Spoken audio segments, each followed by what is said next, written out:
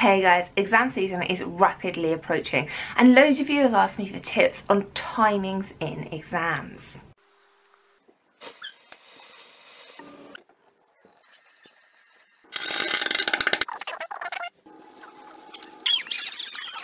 So here are six easy things you can do to improve your timings in exams. Now loads of people think you have to answer the questions in order. You don't. First thing you do is have a quick, quick flick through the exam paper, pick out all the easy questions, the ones that you like, and answer those first. So often I get students come to me and go, oh, I missed that question on the last page. I didn't get time to it. I saw it and I knew the answer. Well, if you know the answer to the question, go and answer that question first. You do not have to do the exam questions in the order that the examiners have put them in there for you. Just do the ones you like first.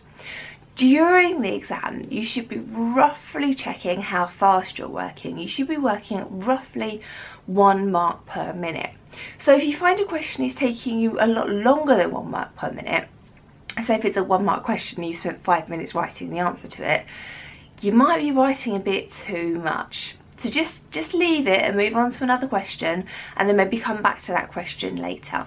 But do not spend like loads and loads of time answering one mark questions. One mark questions should take you roughly one minute. Two mark questions, two minutes. Five mark questions, six mark questions, they should take you roughly six or seven minutes to answer.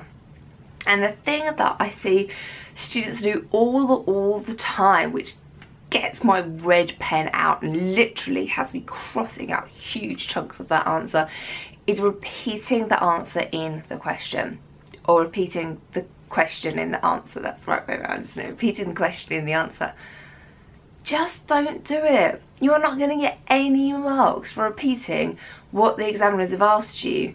Blah blah blah blah blah blah blah blah blah blah blah. I would just put a red line all the way through it and you've written four lines. It's wasted time it's wasted energy it's wasted ink and you don't get any marks for it. Your answer should start with your answer. It shouldn't start with a question and it definitely shouldn't start with the word because.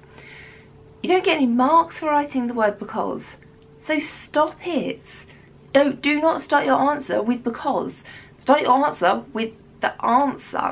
If you want to do the whole mental thing in your head, blah, blah, blah, blah, blah, happens because, then the answer, great, do that. But do not start your answer with the word because. I think you can tell that's one of the things that really, really winds me up. Just get my red pen and cross everything out. Do not start your answer with the word because.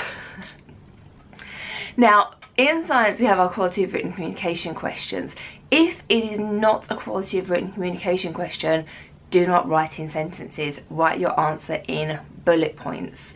Um, because you don't get any marks writing in sentences and bullet points are a lot quicker.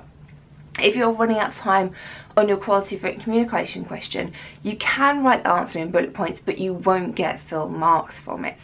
Um, but if you're running out of time, that's something you can do. So stop writing in full sentences, I know the English department are going to hate me for this, but I'm right.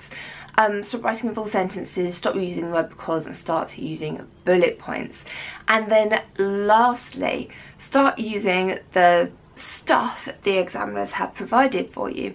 So the mark schemes from the previous year's papers are available on the internet you can see the bits that the examiners give marks for. And the mark scheme is very, very short. It basically tells us to read what you've written and give marks for keywords when they come up.